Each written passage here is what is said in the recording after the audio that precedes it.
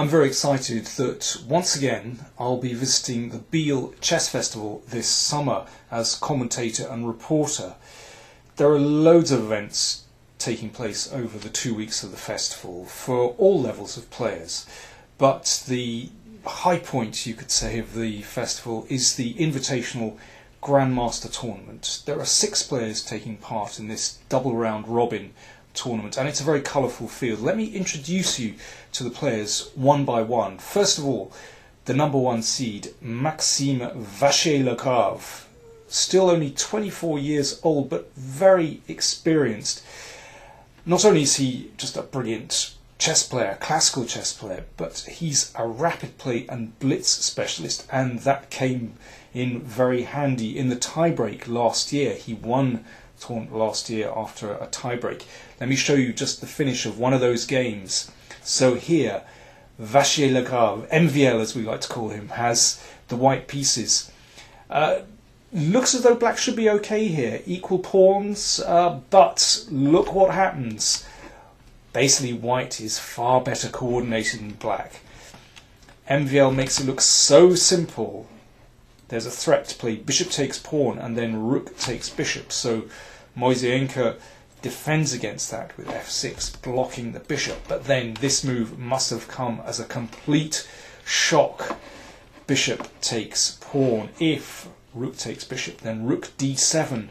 The bishop can't move because of rook d8 check. So after bishop takes pawn, Moiseenko played rook d8 and then bishop c5 wins material, for example, if rook takes rook then bishop takes bishop check and king takes rook and it's all over. He makes it look so simple. Okay, next up we have Anish Giri. Anish Giri, well, the the strongest junior in the world, uh, a really exciting prospect. Many people believe that he is going to be a future challenger for the world title. He's 20 years old. He's already highly experienced and, a, and an excellent technical player. Let me show you how he beat Peter Leko from this position. Well, that says something itself that he managed to outplay Leko in a long technical game. Here, Giri has queen and knight and pawn against queen and two pawns. Still a long way to go, particularly as the king is somewhat exposed. There's no real pawn cover. But let's show you how Giri managed to finish the game.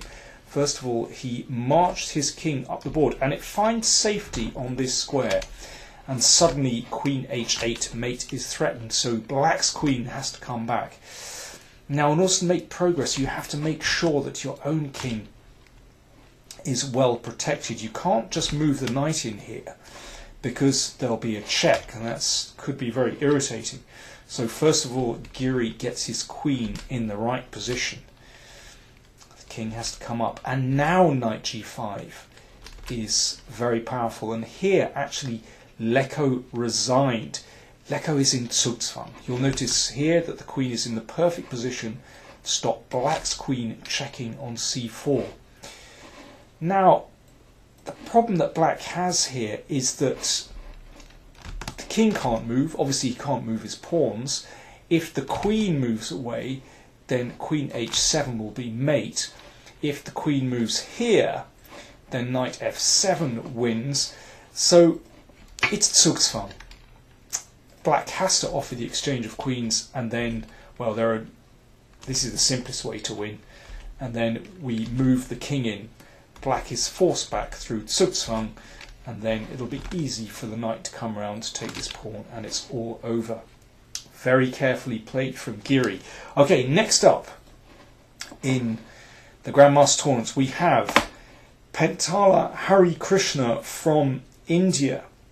He won the Open tournament in Biel last year, and that's how he's qualified for the Grandmaster tournament.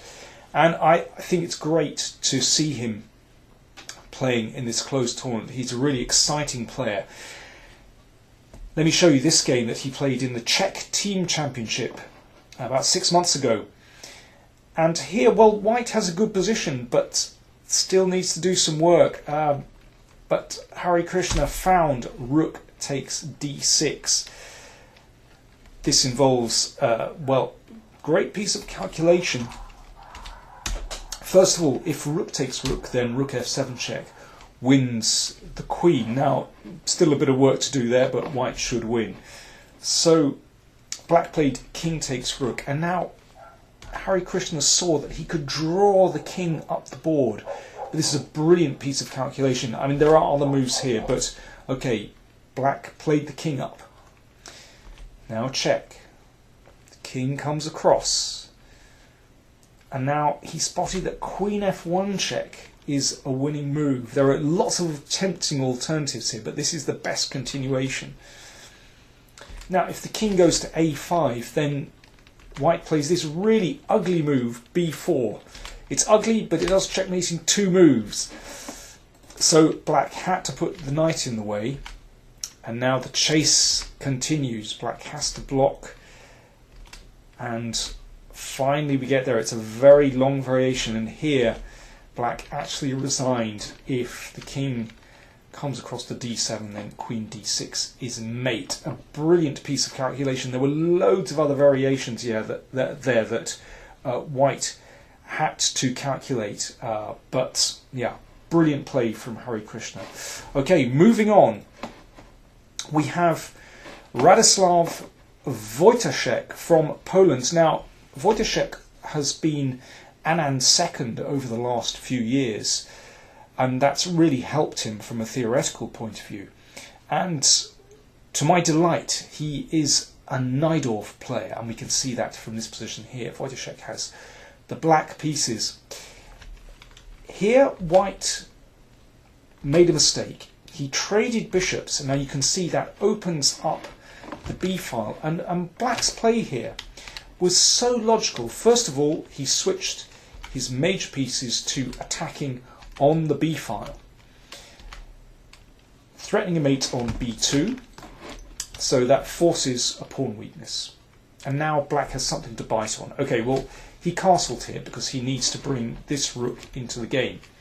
So having forced that pawn weakness on the queen side, he's able to switch to the c file. It's all incredibly logical. So switches queen rook to the c file, now here, if white brings the rook back to protect c2, then black would just rumble on with his attack on the queen side, and it's well, it's very unpleasant for white to defend this.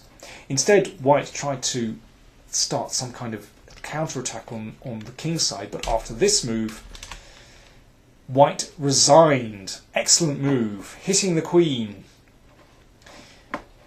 If the queen takes the bishop, then well, the pins on the C file, it's the end of the game. It's going to break through on C2.